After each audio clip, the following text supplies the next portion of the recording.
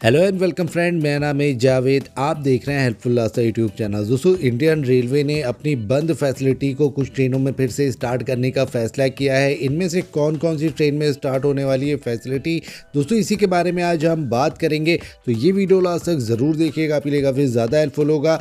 आगे बढ़ने से पहले प्यार भर रिक्वेस्ट अगर वीडियो अच्छी लगी तो वीडियो को एक लाइक और ऐसे ही हेल्पफुल वीडियो देखने के लिए चैनल को सब्सक्राइब ज़रूर कर लीजिएगा।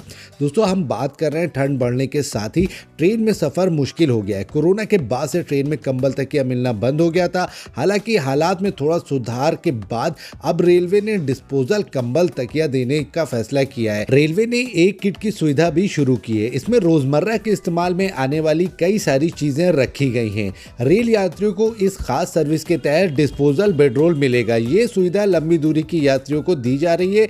रेलवे की तरफ़ से दी गई जानकारी के अनुसार फ़िलहाल ये सुविधा चुनिंदा गाड़ियों में ही मिलेगी। इसमें मुंबई दिल्ली राजधानी राजधानी एक्सप्रेस, मुंबई दिल्ली अगस्त क्रांति एक्सप्रेस, गोल्डन टेंपल मेल और पश्चिम एक्सप्रेस जैसी ट्रेनें शामिल है। लेकिन दोस्तों, इसके अलग अलग चार्जेस हैं। इसकी अलग अलग किट बनाई गई है। अलग अलग चार्जेस की भी हम बात करेंगे अलग अलग किट की भी बात करेंगे कि कौन कौन सी किट में क्या क्या सामान मिल रहा है। दोस्तों, पहली किट की अगर हम बात कर ले, एक रुपए रखी गई है इसकी कीमत। इस किट में काफ़ी सारी चीज़ें मिलेगी। इसमें कंबल के साथ टूथपेस्ट मास्क जैसी चीज़ें भी शामिल है।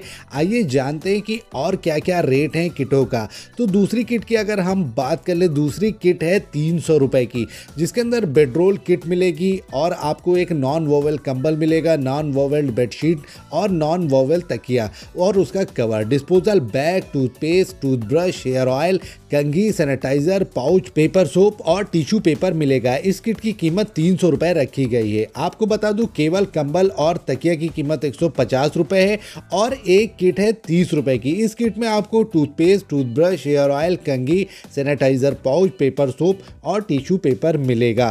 दोस्तों, इसके बारे में आपका क्या ख्याल है? कमेंट बॉक्स में ज़रूर बताइएगा। ये जानकारी कैसी लगी, ये भी बताइएगा। अच्छी लगी हो तो वीडियो को लाइक, शेयर और चैनल को सब्सक्राइब ज़रूर कर लीजिएगा। मिलते हैं नई वीडियो में नई इन्फॉर्मेशन के साथ। Thank you so much for watching.